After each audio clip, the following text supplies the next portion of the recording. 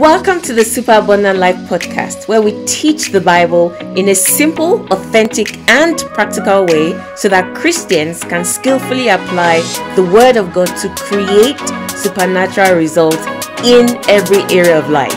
This is your host, Olawunmi Brigue.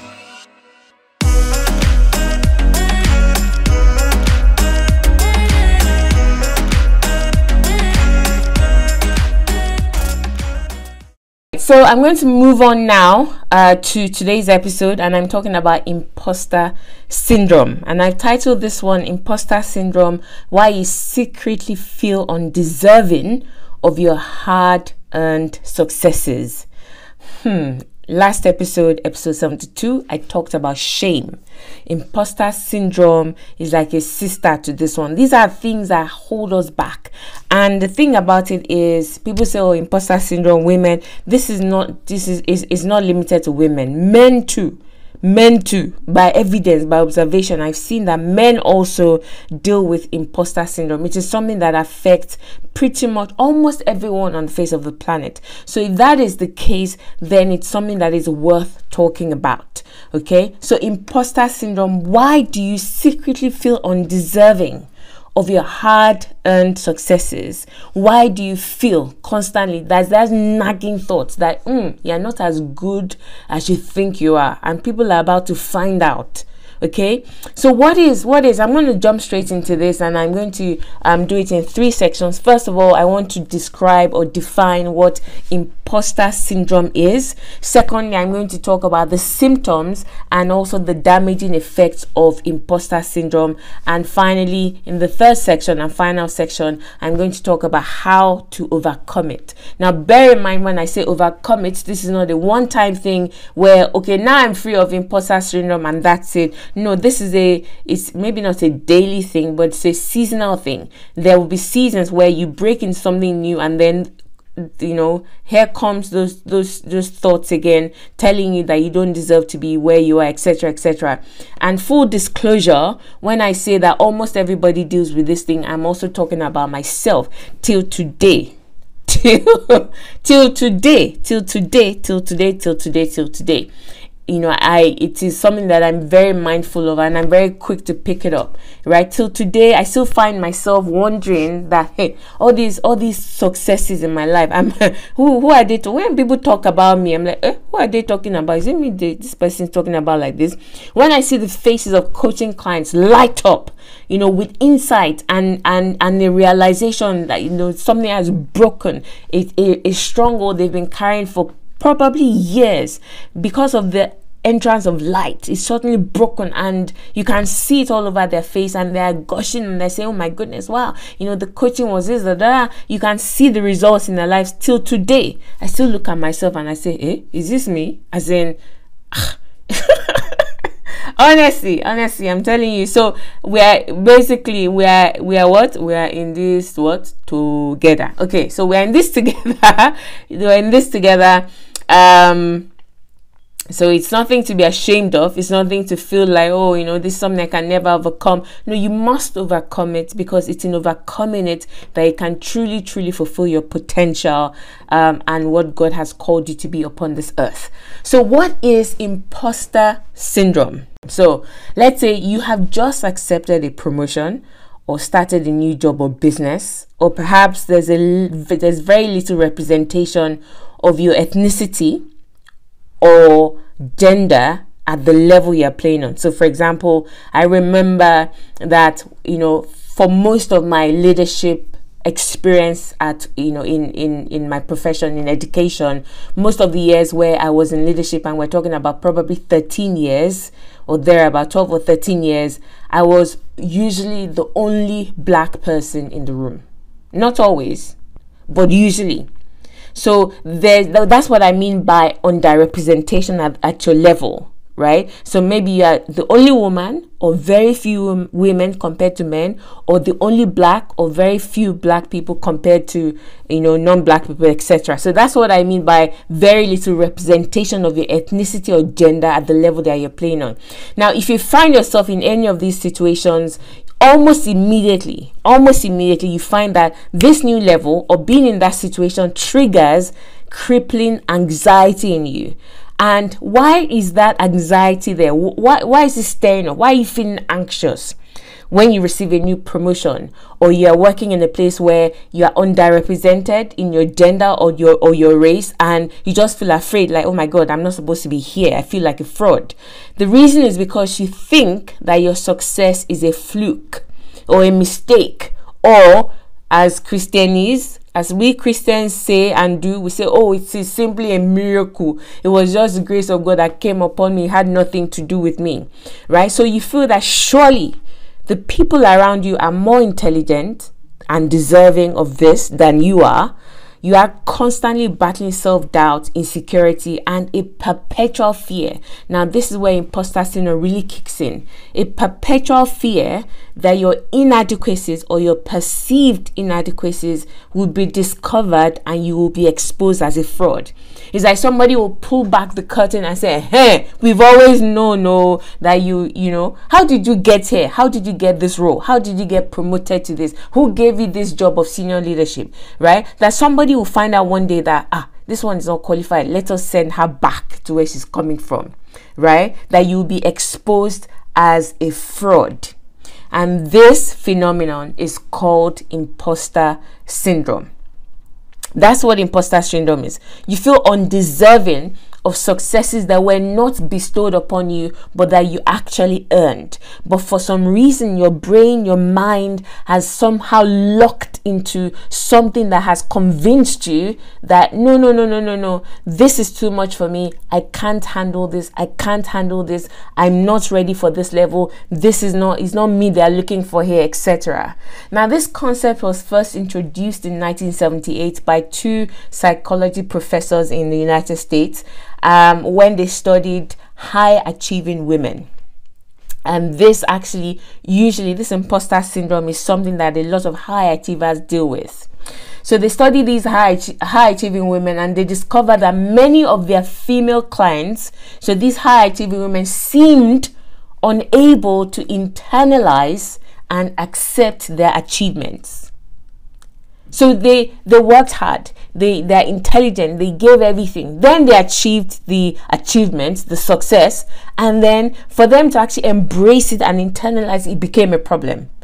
Instead, right? Instead, in spite of consistent evidence of how good they were, they attributed their successes to other things that were outside of them that had nothing to do with them. So things like, oh, it was just a coincidence, or oh, it was just luck, or oh, it was just, you know, timing. The timing was just right, or oh, it's because of the contacts in my, you know, my network. People, somebody connected me and introduced me, and that's how I got the promotion. Or oh, they ascribe everything to their team and they say, you know, my team is great. They're the ones that did it, or my boss did it, or whatever it is. To actually own the success and internalize it was a massive struggle. So that's where the they called it initially imposter phenomenon and then over the years it has evolved into the term imposter syndrome. So that's pretty much what imposter syndrome is. That's what it is. Okay? All right so i'm going to take it a bit further to talk about the symptoms and the damaging effects of imposter syndrome. Because someone might say well what's the big deal? I don't want to be proud. Yes abby people say that and it's a valid is a valid argument that if you if you if you enter with your chest uh, with your chest out like this like hey look at me i deserve this i earned this etc etc that that's pride. Obviously we don't want to be swinging at either extreme. Extremes are not good. It's good to be balanced to walk right in the middle okay? Walk in the middle the same way the Bible says that the grace of God has been revealed unto us. He said we are saved by grace through faith. So grace initiated the salvation and brought it to us. But it was also our faith that connected with it. Do you understand? So there's a balance. You can't say, oh, it is all God, right? And on the other hand, you can't say, oh, it is all me. Either either extremes are wrong. It is not all God. Listen. Oh, eh, eh, eh, hold on. You know me, if you've been listening to this podcast, you know that I'm probably the biggest advocate of God that you know. I'm like Voltron. I'm the defender instead of the universe. I'm the defender of God. All right. I would defend God. I would defend God to the hilt. All right, he's a good God. He's a good father. I love him. I trust him with everything. I just know that he's just so good. However, however, to say that everything happens as God will will it to happen is absolutely not true. It's absolutely not true. We have choices to make. We have a say. We have a say in the matter. So do you understand? So we can't swing on both extremes. So someone might say there's nothing wrong, you know, with um, um, being what's that word? Reclining, being um, there's a word it will come to me. And literally not stepping out and, and saying oh it is me it is me it is me because that's pride.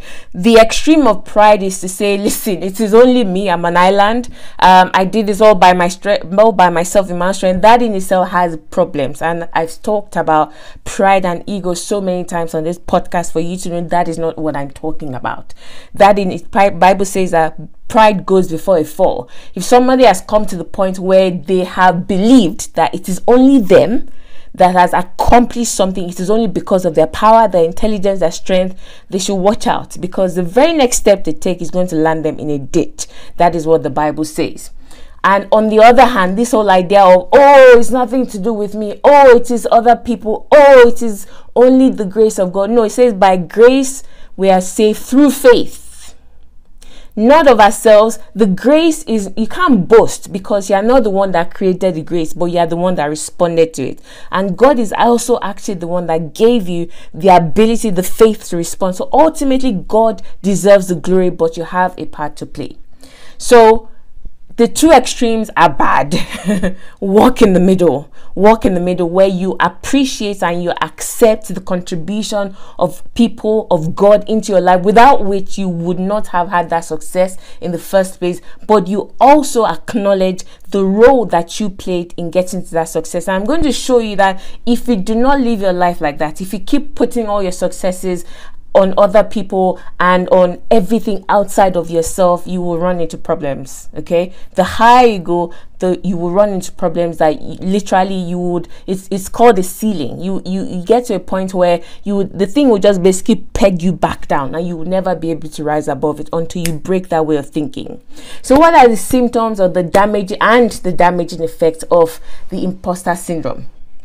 Number one, number one, as I alluded to, you feel like your success or your progress up to this point, or the fact that something wonderful, something good has happened in your life, you have a beautiful marriage or whatever it is, your children are doing well, etc., etc., etc. You feel like it was a mistake or luck, or as Christians say, it was only God. Oh, okay? It was only god or people look at you in fact they look at you they think the same and you said you agree with them.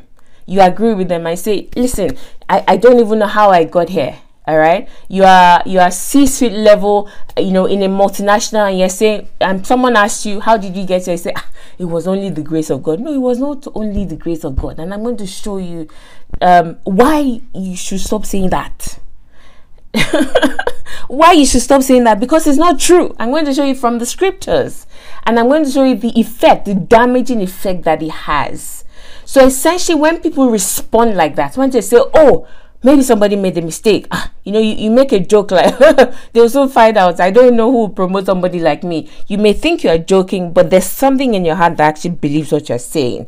You think it's luck. You think, oh, they looked at you and you know they thought, okay, there the there's there, there aren't that many black people on the board, so let's just appoint this one to come and you know add a bit of multicultural whatever to the board, a bit of color to it. That's why they picked me. You know, this kind of things, etc essentially you find it difficult to accept the role that you played in that success. That's the first symptom. Right? Any of this, you don't need to have more than one. If I say the first one and it sounds like you, then yes, just say, put your hand up and say, Yes, Jesus, deliver me from imposter syndrome. So, this is the first one successes that you've experienced in your life if you look back you always thought that you it wasn't really you it wasn't really you, okay? It wasn't really you. So essentially, you find it difficult to accept whatever role you played in that success. But listen to this it is the Bible that teaches us in Titus 2:11 that the grace of God that brings salvation, right? So the grace, remember I said, oh, it is all it is all God. It is all God. Nothing to do with me. It was just all God. Okay. He says the grace of God that brings salvation has what appeared to all men. That's what Titus 2:11 New King James Version says. It says it has appeared to all men. And that scripture goes on to now says, because this grace has appeared to you, do this, do this, do this, do this. Now, if the grace has appeared to all men, meaning all human beings, but we know that not all human beings are saved. Why? If it's only God, if God is the one that only does anything and we human beings have nothing to do with it, if the grace that brings salvation has already appeared to all men, why are all men not saved? Meaning, man has a role to play. So you cannot remove yourself from it. You can't say, oh, no, it's not me, it's not me, it's not me. Or you say, oh, it's my team. You know, you, you, you give credit where it's due, but don't exclude yourself. Do you understand? So the thing is, if you keep talking like that, if you keep putting um, the the responsibility for that success on other people and remove yourself and say oh it is just it is it is other people. It was lucky what maybe it's a mistake or whatever it is. What happens is two things two things. If you do not acknowledge the role that you played in that success two things will begin to happen. Number one you will feel incapable of handling challenges that come your way whilst in that role so if somebody was promoted from a middle manager to becoming a senior leader and they are dealing with imposter syndrome, say, hey, you sweet, just I, I don't deserve it. There's you know, I, I I'm just not capable, I'm just not capable. When challenges come and they will come, so the challenges that hit at that particular level, because the person has not owned that success, because they don't believe that there is something inside them that is capable of dealing or or or dealing with issues or playing at that level, they will obviously shrink back. That's what I was looking for. They will shrink back and they say, no, no, no, no, I can't handle this. And guess what? They will sabotage that level their success at that level and before you know it that person has been demoted back to see to to middle management because they refuse to own and accept that ah, I have built the capacity to be able to be here. I deserve to be here. Because when you believe you deserve to be somewhere, when something comes to tell you you don't deserve it in terms of challenges, you will rise up and say, "No, I deserve to be here," and then you go and deal and tackle deal with that challenge and tackle it okay? So if you if you if you don't if you remove yourself from it and you say no no no this success has nothing to do with me. It was because my sponsor connected me with this blah blah blah. Not that oh i actually built the capacity right? The second thing that would happen is you will not be able to replicate the success in your own life or teach other people to achieve the same. If you keep saying it was only god and i had this conversation actually a while ago with someone. And um, the person had just been promoted into a senior leadership role. And because me i'm a queen of systems and processes okay? I you know don't come and do blah blah blah blah blah blah, blah. Abracadabra. I say, oh, and then result. And I'm like, okay, thank you. But how did you produce it? Why? Because I want to learn how to produce it myself. I want to teach other people to produce it. So if you can't tell me how you did it, just stay on one side because something is coming to carry that thing from me. Even if you yourself don't know how you got there. So I was having this conversation with this person, and I'm like, "What? What did you do? As in, what are the steps?" Um, and he, you know, he, he basically could not he could not answer me. He was like oh you know it, it was really nothing i did. It was just the grace of god. It was just it was just my time. It was just and you know this kind of christianese. And i looked at this person and i and i basically said you need to sit down. You need to meditate on the process. Right? You need to sit down and meditate and document the process that got you here. Because if you don't do that you will never be able to replicate this success. This is as high as you would go. And number one even though that's bad enough number number two the second thing is you will not be able to teach other people So if somebody invites you to come and speak and teach, you know, and inspire and teach middle managers to be able to go into top leadership, you will not know what to say. You will say, well, just trust God. That's the kind of thing you'll be saying. Just believe God, just trust God, just do your best, just, you know, keep working hard, and it will be useless information to them. It will be useless because you haven't owned that success and therefore you have no idea of how it happened. And because you don't know how it happened, you can't replicate it. When Jesus um when um, Jesus told Peter and, and the and and the lot to go out and cast out their net, right? When they caught the multitude of fish, Jesus said to them, "Now you have the miracle, but guess what? I'm going to now make you fishers of men. So I'm going to teach you the process of catching fish." This one was just a miracle that came wah like that. If I ask you to go and replicate it, you can cast your net on the right side as long as much as you want. If I didn't say it, it won't happen. However, without me following you about and saying cast your net, I want to now make you fishers of me. I'm going to teach you.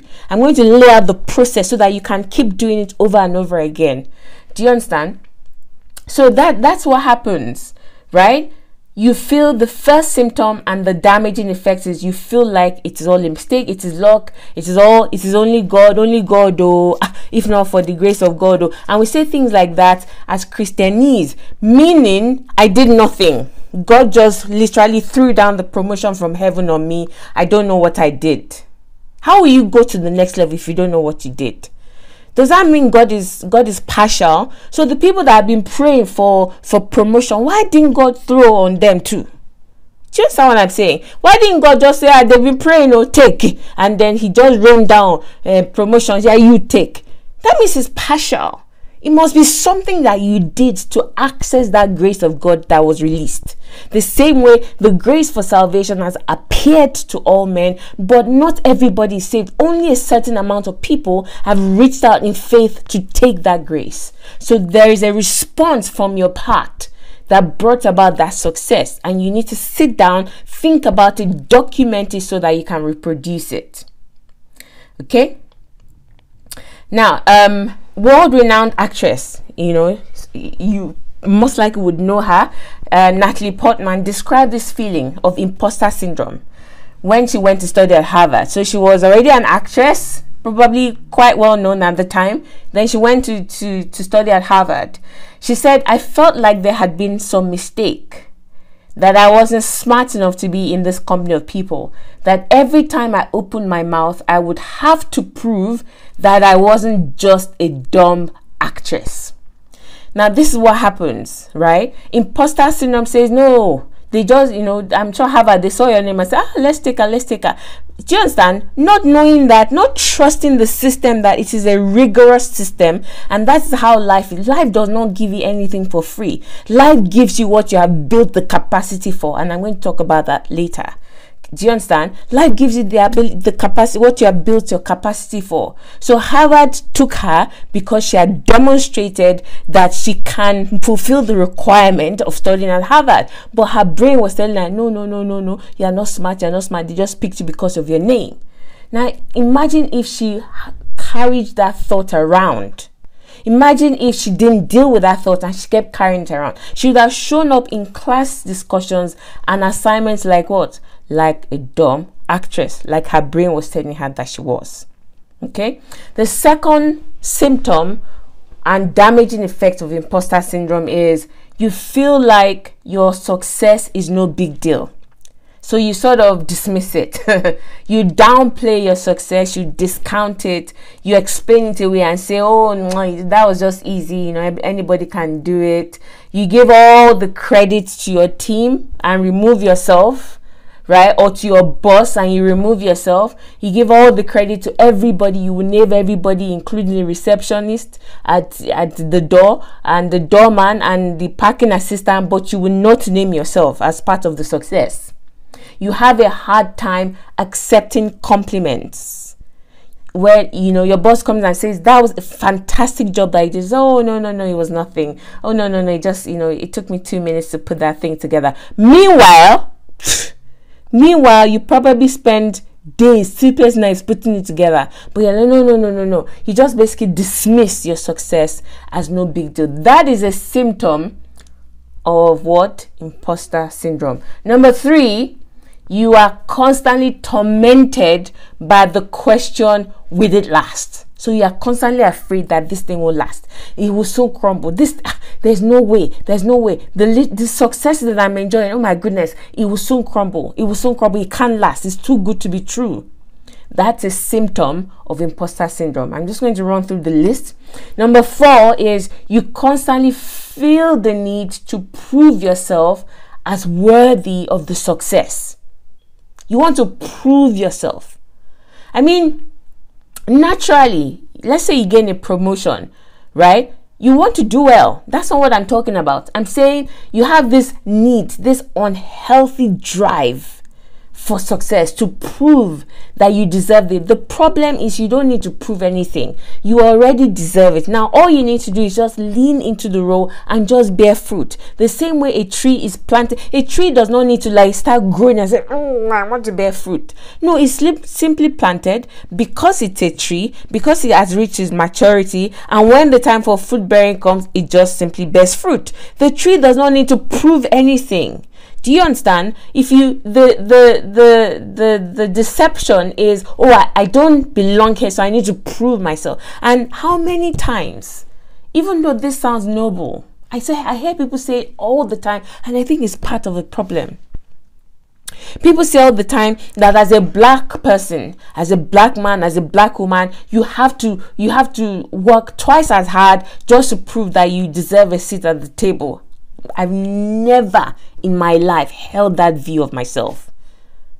I've never held that view of myself that, oh, and I think again, it is the gift of growing up in Nigeria where I didn't know I was black. There was nothing like black in Nigeria. I grew every it, all the faces were black. I didn't even understand what black meant.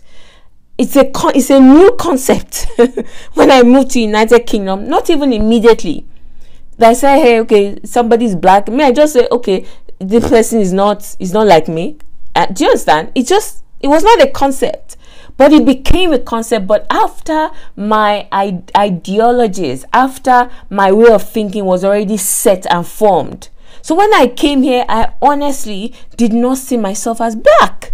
I just continued as the way I had been raised that this is a human being, that's a human being. Yes, you speak with a different accent. Yes, you look slightly different. Your skin is lighter than mine. You know, you are a native English person, I'm native Nigerian person, etc. etc. But no, no, no, it was not the idea of, oh my god, I'm here, I'm the only black person, and I had to prove myself more than anybody else. That is what is called imposter syndrome.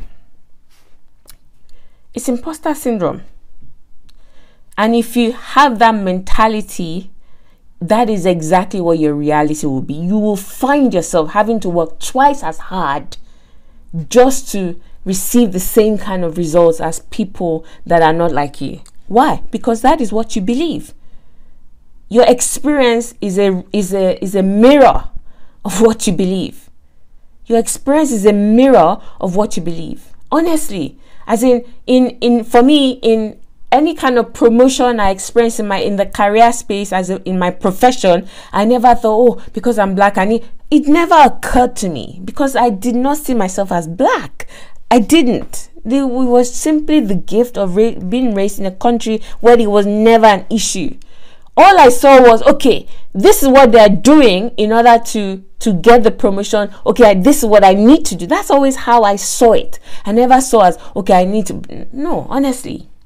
The thing is, if you constantly feel the need to prove yourself as worthy of that success that you already are worthy of, that you already are deserving of, right? This is how it it it manifests itself. So this is the damaging effect.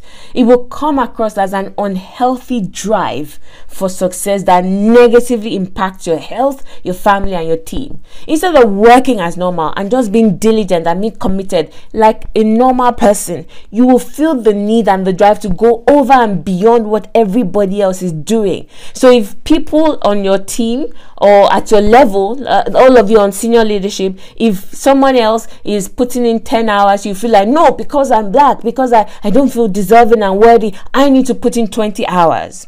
And you still get the same results as a person that's putting in 10 hours. So you wasted the additional 10 hours because you feel the need to prove yourself. So it's an unhealthy drive, and you keep working and working and working and working. You keep taking on other people's role. You refuse to delegate. These are the symptoms of this thing. You refuse to delegate. You will take up all the work yourself. You will micromanage because you must get that result. Say by force, by force, by force. You must work harder than everybody else. You must be better at everything and, and than everybody else in order to just deserve a seat at the table. The table that you're already sitting at, that you already deserve. Can, can you see where the problem lies? You're already there. You already deserve it, but you're saying, oh, for me to deserve it. Ah, but you're already there. So what do you need to prove? You have nothing to prove. You just need to settle into the role and begin to bear fruit and you begin to bear fruit. So when people carry around that chip on their shoulder, like I have to prove because I'm black or because I'm a woman, I must prove. What happens is you will you will literally begin to work yourself to the bone. You will put in more hours than everybody else. And you will justify to yourself and say, listen in this country ah if you're black if you don't you know put in they won't it's not true it's because you see that way that it is your experience and your reality I just cited myself as an example. I, in fact, I worked less simply because me, when I was going into my job, my first professional career, my first job, I, I started my first, my, my only professional career with, with a three month old baby. I've said this before on the podcast. My daughter was three months old. I didn't have time to be saying I, must prove. no, because I have a baby to go back home to. So I even made a deal with God that listen, we have to multiply this thing. If I put in one, it must bring out 10. Not because I'm being lazy, but because I have a child. So I've never really thought of it that way. I, I, in fact, if you if you weigh out everything on the scales, I probably put in less, but I was achieving more results. And like they were coming to me as in, ah, how you achieve? Because I always believe that I deserve the seat at the table. in fact, my father owns the table. What are you talking about? Because I see myself, first of all, as a son of the Most High God. And the God of this world, He owns everything. He owns everything. So He's my father. And I, I'm at the table. And He has given me the strength and the intelligence. And I'm showing up and using the strength and the intelligence that has given me to produce results. I absolutely deserve a seat at this table. That's how I've always seen it. So this whole idea of if I'm female or I'm black, I need to work twice as hard. The reason why you are working twice as hard is because you believe you do have to work twice as hard, and that is your reality. There are people that are not working twice as hard and are still getting the same results. So I think we need to be very careful because we jump on this bandwagon because it's it's a fad for people to say things like that. Think, sit down and think about it carefully before you repeat it and then jump on the bandwagon. Right? The family will suffer because you won't see your children because you feel oh you know i must do this. You want to be on every call. You want to do you understand? These are symptoms of imposter syndrome because you feel if i'm if i show don't show up for even one call they will think i'm incompetent and I'm, i don't deserve to be here. No go and rest. Relax. You're already there. You already you already deserve you own the table. Your father owns the table. Do you understand? All right it will also impact your team. As I as I said you will not delegate you will micromanage because you will aim for perfectionists. Of perfection. You will aim for perfection. You will be a perfectionist. Right? Number 5 the 5 the fifth and the final symptom and damaging effect of imposter syndrome is you will find it difficult to ask for help. That's a symptom. If you find it difficult to ask for help, then most likely you are dealing with imposter syndrome. Why? Let me expand on that when I say difficult to, to ask for help. So you're afraid that asking for help would give people or colleagues proof of what surely they have suspected, which is that you are an imposter, that you can't do the job. So you just got promoted into a new role. you don't know anything about it, right? Because it's new and you're starting to learn, you earned the place there. But obviously, it's new, you still need to learn. But rather than go and ask, you don't want to give people the impression or confirm the impression that what did we tell you? Why she, she can't even answer this question. Do you understand? So to avoid being found out, you basically just withdraw to yourself and you try and you agonize over over the problems and challenges that you're facing. Something that you could literally have a conversation one conversation with somebody that is seasoned at that level and they will help you unravel it in one conversation. You agonize over it over and over. You spend weeks sleepless nights dealing with it trying to figure it out. You eventually would right but you could have if you could have only taken one conversation. Why? Because you don't want people to think you're stupid. You don't want them to think oh why did we promote this one? She doesn't know anything or he doesn't know anything. This is a symptom of imposter syndrome. So those are the five symptoms and we're going to move on now to how to actually overcome imposter syndrome. First of all how do you overcome imposter syndrome? Number one, I have said here, written down here, deal with it at the source. Deal with it at the source. Now, I'm going to expand on that so that you can understand what I'm saying. Deal with it at source. What's the source? Well, if you think about it this way, the very nature of the word imposter, imposter means someone that you know that doesn't belong somewhere. So, um, if if everybody um, is supposed to attend a work function and they had already set the dress code and said everybody must wear a black suit and blue tie. And somebody walks off the street wearing a green dress and a yellow hat. And then you look at them like that person's an imposter right? They're not supposed to be here because they stand out. So the person to, to label someone an imposter it has to be cast from the outside if you understand what i'm saying. It has to be a judgment in the context of an environment right? So the very nature of the word imposter means it is someone else who is identifying that person as an imposter or as not belonging. So that means those thoughts of um, imposture is originating from somewhere apart from yourself. They're not coming from you. Just because it's in your head and it's in your brain does not mean it's coming from you. The Bible says in John chapter 1 that there are four sources. It says, born not of the will of man, nor of the will of flesh, nor of the will of something, but of the will of God. So um, I haven't taught on this in this podcast. Well, one of the episodes, I'm going to talk to you about how thoughts, there are four sources of things that happen in your thoughts and in this life. One of them is God, one is Satan. One is just a natural process of life. So just because there's a thought coming into your mind does not mean that it is coming from you does not mean that that is really how you feel about yourself. The source of it, the person that is calling you an imposter is Satan. Why? How do I know? Because that's his MO. That's how this guy operates. It's his most effective strategy. Imposter syndrome. Satan knows what it is or he uses it well.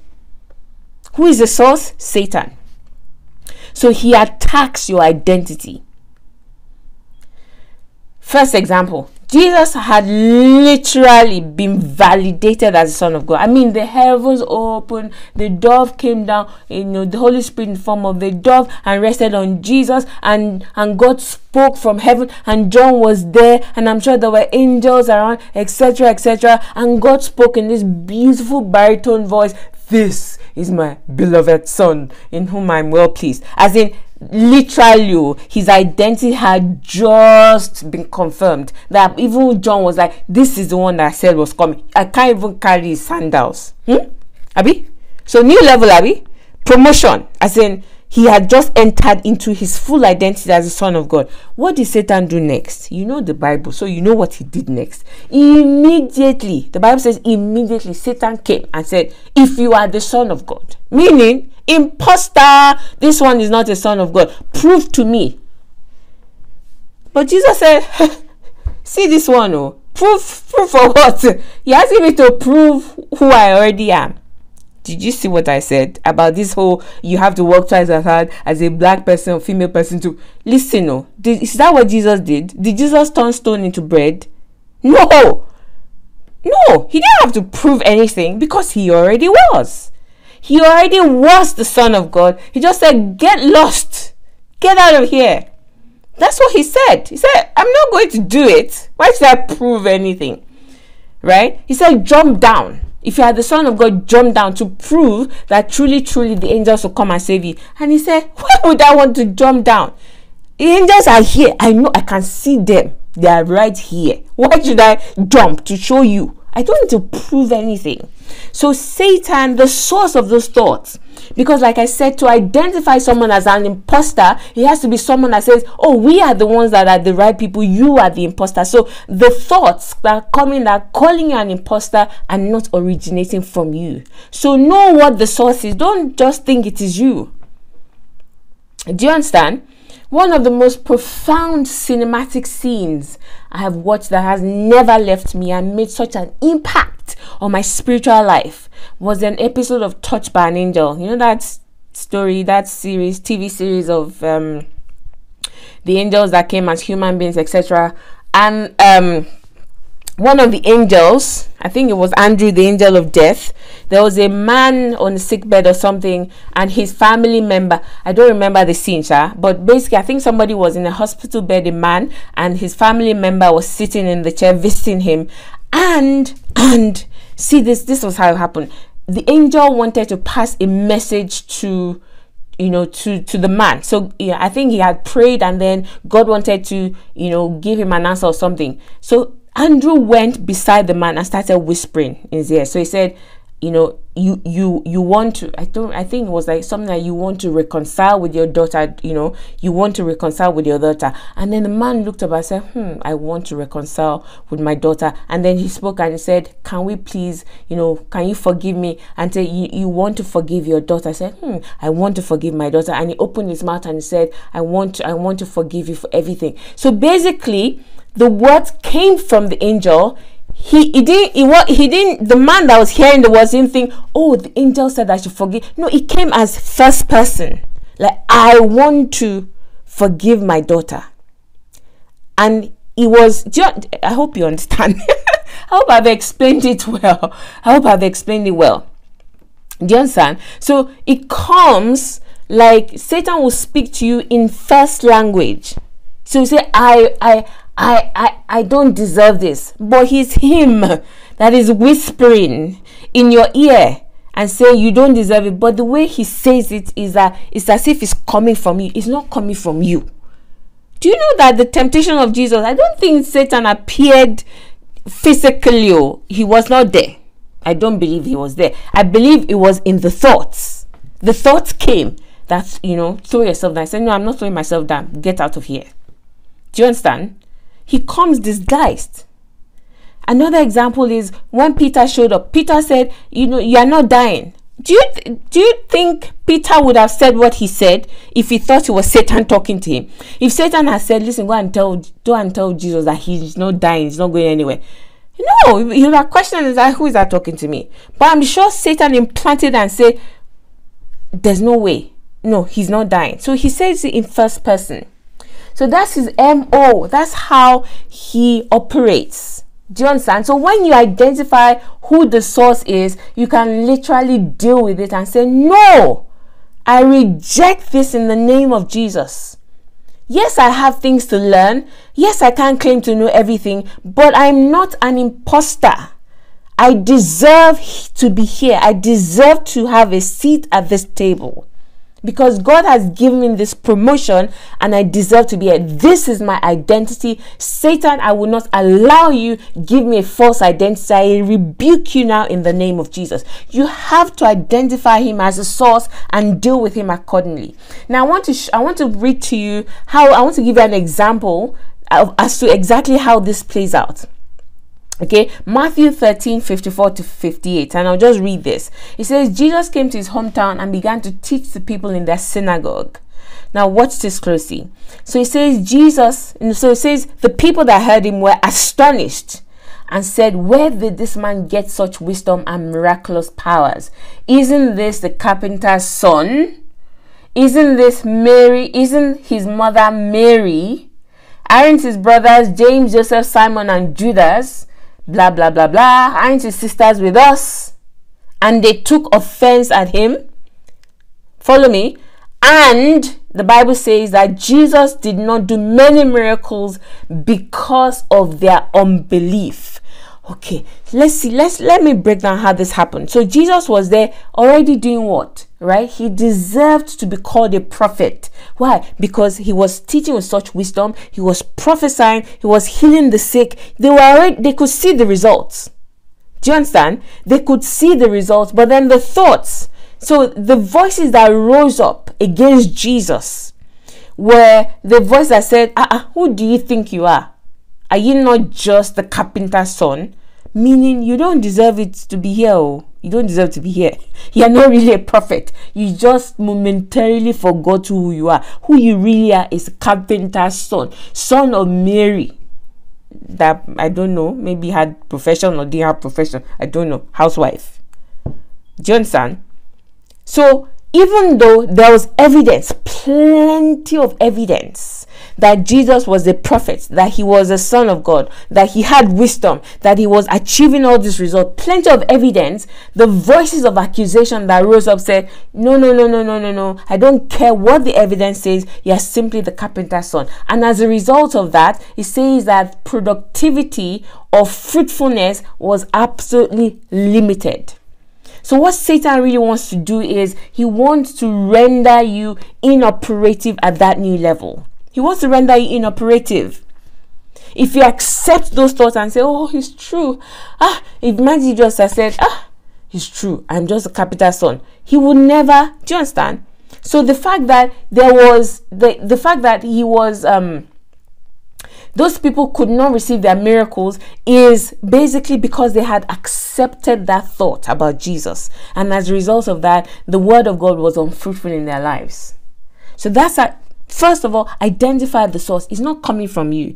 Nobody can identify someone as an imposter except somebody else, a third party. You look at someone and say, that person is an imposter. So if imposter syndrome thoughts are coming into your mind, you need to understand that they're not originating from you. They're coming from a third party that is trying to identify you as an imposter, and you have every right to reject that identity, to reject and say, I'm not an imposter, I deserve to be here.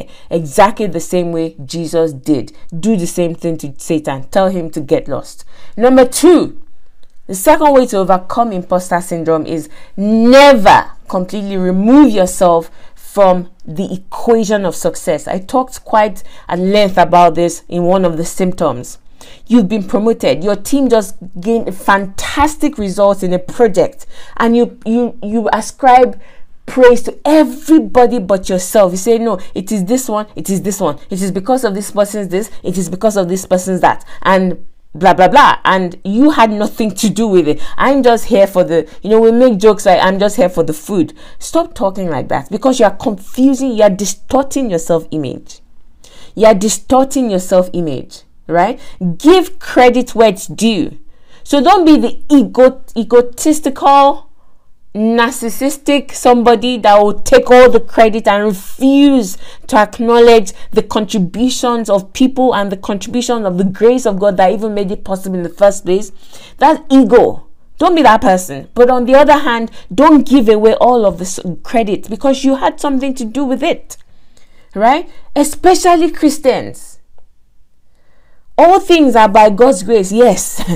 but as I said, your response to that grace was also crucial to success. So you are part of the equation. So tell yourself the truth that you are there because of your capacity to be there. You have built the capacity to be there, and that's why you're there. Let me read something to you just to butcher this point. First Corinthians 15 9 to 10. Paul was speaking. Paul said, When I started this journey, right, I was the least of the apostles. I'm not even fit to be called an apostle. Why? Because I persecuted God's church.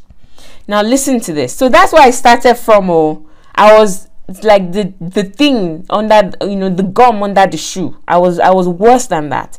But he said, but God's grace has made me who I am. So you acknowledge the grace of God that has brought you to that point. But Paul didn't stop there. Paul didn't say, Oh, only the grace of God. I had nothing to do with it. No, that's deceptive. It's not true. He says, God's grace made me what I am, and that grace the reason why it made me what I am is because that grace, I'm reading verbatim what the Bible says, that grace was not wasted on me. So it's possible for God to release His grace into someone's life, but the person is lazy, the person is not committed, the person will slander people, they will do all sorts of things, and that grace will go wasted and it will not produce any fruit. So you that you've taken the grace of God to produce something good that gives God glory, it means that you are doing something right. So don't write yourself off. He said, instead, this is Paul still speaking. He said, The grace was not wasted on me. Instead, I worked harder harder than all the others. It was not I who did it, but God's grace was with me. So he he never at any point said, "Oh, it is me. I'm I'm so super. I'm so wonderful that I was able to do this." No, he acknowledged the source of the grace, but he also said, "Because of the grace, this is what I did." So it's a combination of the grace of God and my own response to the grace that produces beautiful things on the earth. So if you remove yourself from the equation,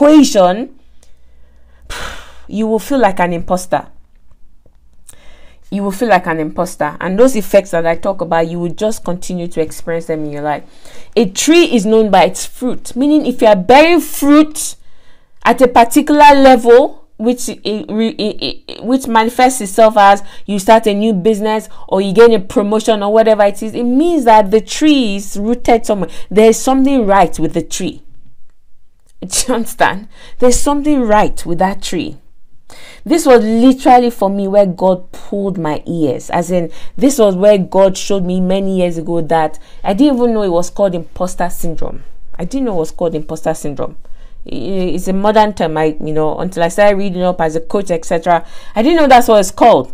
But I, I, remember after experiencing such a dramatic, miraculous transformation in my life, coming into the UK. If you know my story, listen to episode one. If you don't, um, so after that season, I entered into a season where things were just like bam, bam, bam. As in the progress, the I was just progressing like one level to the other in my career, in in my finances, you know, you know, investments, etc. Things were good, and then I hit a point where everything just flatlined. Everything went dry. I felt like i had you know i was stuck again. You know in my career it wasn't i was trying to gain promotions to the next level. I was just stuck. My finances were okay yes i you know was working but you know the investments i'm like well i just felt dry. And i hit that level where everything was just like I'm like, God, I need another touch, Lord. You know, God, come and do to me what you did, you know, back then in Nigeria, how you took me to another level, blah, blah, blah, blah. And I was saying all those things, oh. And I could just feel God one day, just look at me. I said, This is my this is my child. Hey, he basically just I don't remember the conversation now. Uh, maybe he showed me in the Bible. I don't remember, but it was something along these lines. I see this one. See this one. So you think, oh, that every time I want to do something in your life, I'm just going to come and sprinkle angel dust on you and whoa, whoa, whoa, and the thing will just manifest like. I said, no. He said, go back. He said, it's laziness. You have been lazy. You're just waiting for me sitting down and raising your hand and say, God, do it again. Said, I'm not doing anything again. He said, go back. Go back to that period of your life where you experienced the explosion where you experience the supernatural transformation that lasted probably three years, three, four years, where you were just like bam, bam, bam, bam, success after success, increase after increase. Said, now that that has run out, what you need to do is go back and meditate and meditate on that process. And he said, document it and do you know that is where all of this that I'm teaching today, my coaching program, GEMS, Goal Execution and Mastery System, SuperAbundant Woman, anything that I'm doing today that has been helpful to you, it came out of that time of meditation. God said, Stop being lazy, just looking for miracle after miracle hunter. Go back and meditate on the process and understand how it happened so that you can replicate it. And that's one of the things that I absolutely pride myself and you know the grace of God on for gems, gems is a replicatable, is that a word? process. As in, I will not do anything. My team understand, they know if we do anything, I'm like, processize it. Can we do it again? Because if we can't do it again, it was a fluke. So, what is the process? Do you understand? So, God said, go back meditate on it write out the process. And i began to think about the process like ah so it wasn't just it just happened blah blah blah like that. I said so okay this is what i did first and then this is what and then over the years he helped me refine the process which became gems. And essentially what happened what happened when he showed me that was I took the same process and I said, okay, I need to enter breakthrough into another level of supernatural advancement. I took the same process that I used when I was what almost nine months pregnant, stuck and all those things in a terrible place, pit of despair in Lagos. I applied it again and I again broke through into a new level. But if you don't own it, if I just say, oh, it was only God, God just delivered me, God said, I delivered you, but you played a part and there was a process. Go and learn the process, replicate it. The same grace that was upon you, I haven't taken it away. The grace is still there. You just need to reapply your own part and the grace will kick in again. So that is how you overcome imposter syndrome. Don't remove yourself from any equation of success. Look at the parts that you played. What did you do that opened up that door? That way, you will know what to do the next time, or even teach someone to be able to walk through such an open door. And finally, number three, number three is very simple demystify that feeling. Okay, you are not alone. The most successful people you know that have walked this earth from biblical times people like moses remember how God was trying to convince Moses, right? Do you remember? Oh God, I can't talk. Oh God, send somebody else. eh? God, Moses, I said, Moses that God had been working on for how many years was in that place? That God saw and said, You are ready. And say, No, I'm not ready. I can't stand before Pharaoh send somebody else. God, I'm God, I'm sure God wanted to like box him and, and blow him a little bit and say, what's wrong with this one? Imposter syndrome. Like, oh, I don't this, I don't, no, no, no, I don't. And see how, when he showed up, see what he accomplished. People like Oprah, they have said this is how they feel or have felt, but they dealt with it and they moved on. All right. In fact, Howard Schultz, the president of Starbucks, said practically every CEO he knows feels the same way. They deal with imposter syndrome at different stages in their life. In fact, I, he said, and I quote, very few people, whether you've been in that job before or not, get into the seat and believe today that they are now qualified to be the CEO. So they're not going to tell you that, but it's true. In other words, he doesn't know anybody that get into a brand new role where they receive the promotion and they don't feel like an imposter. So they may not own up to it. They may fake it till they make it. They may say, I'm absolutely confident and you know we're going to do a fantastic job. They may use all the right words, but inside they're like, oh my god, oh my god, oh my god, oh my god, I don't know what I'm doing. he said everybody feels like that. So the third way to overcome imposter syndrome is don't don't go and hang yourself for feeling like that. Everybody, at least almost everybody, feels like that at different stages all right once you identify and you demystify it you just need to turn it around and say well the fact that i feel like that does not make it true. The fact that satan comes to whisper to me that i don't deserve a seat at the table does not make it true. Does not make it true. I deserve to be here. I have the capacity. I just need to start learning. All right you turn it on its head. You say i just say yeah i acknowledge that i don't know everything. I'm not supposed to know anything everything.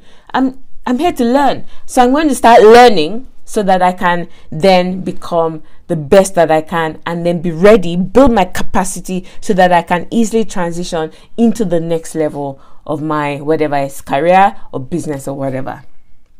So, imposter syndrome has no place, has no place, none whatsoever in your life kick it to, to the curb get rid of it and not once and forever is something that you probably need to do frequently so if if a voice comes and whispers and tells you that you don't deserve a seat at the table tell that voice to get lost that I, in fact, not only do I deserve a seat at the table, I own the table because the owner of the table is my father, and whatever belongs to my father belongs to me. So stop trying to prove that you deserve a seat at the table. Okay, that's what I've come to share. Thank you so much, and I'll be back with the next episode of the podcast.